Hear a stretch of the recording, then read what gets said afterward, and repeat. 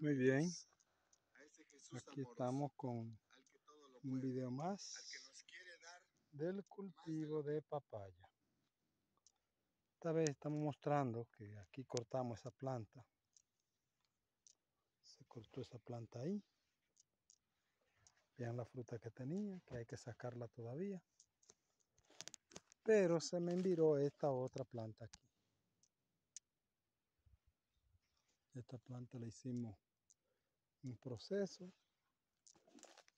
El proceso que se hizo esa planta fue quitarle el cogollo. Véalo ahí, el cogollito solamente. Se quitó las frutitas nuevas que tenía. Véala ahí. Y dejamos esta fruta que tienen ya un tamaño comercial, aunque está nuevecita todavía pero vamos a darle el seguimiento para saber qué tan nueva podemos iniciar el proceso de quitarle el collo a las plantas para ver la evaluación.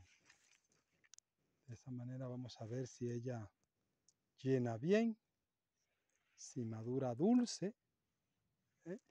sin problema. Siendo así, entonces podemos comenzar bien a tiempo a quitar las plantas que tienen virus y a la vez salvar las cargas. Esta es una plantación eh, nueva, no está tan... Esta es la parte arriba. Una plantación nueva. Todavía está comenzando ahora a cargar sea, no comenzando ahora, tiene sus cargas, pero eh, está nueva, relativamente nueva, en comparación con otras plantaciones que le hemos estado mostrando. ¿Mm? Miren esa planta. Esa planta tiene su buena carga, pero la mayoría todavía no ha cargado así. Tan pequeña. Mire.